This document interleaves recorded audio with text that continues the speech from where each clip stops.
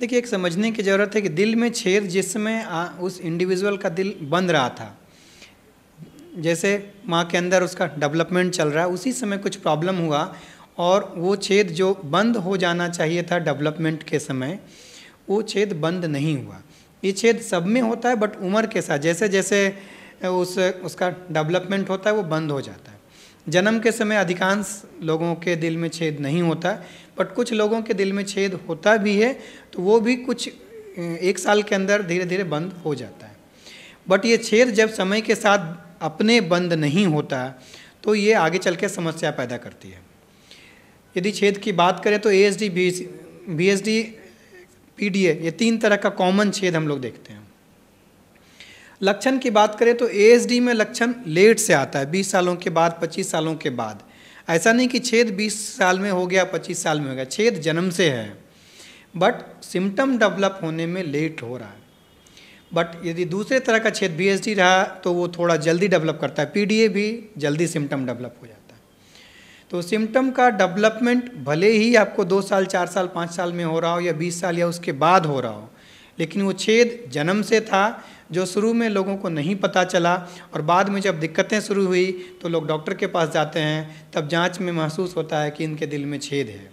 तो यदि बात करें छेद के तो ये छेद जन्म से होता है छेद बाद में नहीं बनता।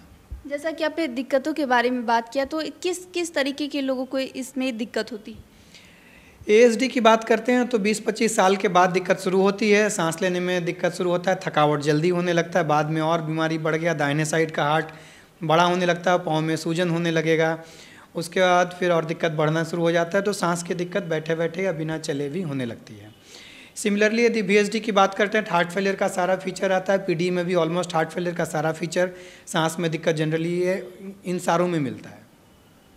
इसके अलावा अगर ऑपरेशन ऑपरेशन कब ज़रूरी पड़ता है? जैसे हम बोल रहे थे कि जन्म के समय छेद बहुत बच्चों में मिल सकता है। हमें इंतज़ार करना पड़ता है। देखना पड़ता है कि छेद का साइज़ क्या है। यदि एएसडी की बात करें तो भी बंद हो सकता है। बी भी पहले एक साल तक बंद हो सकता है। यदि उसके बाद दूसरा छेद जो हम लोग उसका पी की बात करते हैं तो वो भी पहला एक एक महीने तक ज़रूर बंद होने का संभावना रहता है। लेकिन यदि ये समय के साथ स्वतः बंद नहीं हुआ और लक्षण आना शुरू हो गया है तो हमें ये जाँच करके देखना पड़ता है कि छेद का साइज़ क्या है लोकेशन क्या है। ऐसा कुछ छेद है जिसमें बिना ऑपरेशन के भी हम लोग बंद कर सकते हैं। उसे डिवाइस से बंद करना बोलते हैं। इसमें मरीज़ को बेहोश करने की भी आवश्यकता नहीं पड़ती। इसमें हम लोग को होश में रहते हुए भी एक डिवाइस के द्वारा जाके उस छेद को बंद कर देते हैं। लेकिन छेद का साइज़ ज़्यादा बड़ा होना या छेद का लोकेशन अच्छा नहीं होना जहाँ डिवाइस नहीं लग सकता है तो उस हालात में हार्ट को खोल के ओपन करके और ऑपरेशन करके बंद करने की ज़रूरत है।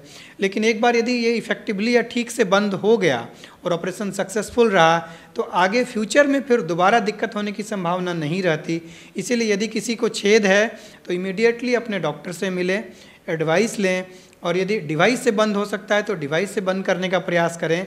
डिवाइस से बंद होने लायक नहीं है तो ऑपरेशन करा के बंद करें, क्योंकि एक बार सक्सेसफुल बंद हो गया तो फिर आगे बच्चे का लाइफ नॉर्मल रहेगा। इस दौरान बचाव किस तरीके से किया जा सकता है? यदि हम लोग बात करें बचाव का तो जिस समय माँ गर्भवती है, उस समय उसे हेल्दी खाना यूजुअली खाना है और कुछ ऐसा चीज़ नहीं लेना है जिससे कि बच्चे के हार्ट के डेवलपमेंट में दिक्कत हो। बट यूजुअली ये जेनेटिक होता है और बहुत ज़्यादा हमारे पास ऑप्शंस नहीं होते हैं तो इसीलिए यदि छेद है तो उसका समाधान ही करना पड़ेगा। और यूजुअली इसका समाधान 100 परसेंट हो सकता है यदि हम लोग जल्दी जाने और बहुत लेट ना कर दें तो। ज़्यादा लेट कर देने में हार्ट का हिस्सा डैमेज हो जाता है हार्ट का साइज़ बढ़ जाता है, वैसे में ऑपरेशन सक्सेसफुल नहीं रह पाता, उस हालात में फिर ये दिक्कत या लाइलाज हो जाता है।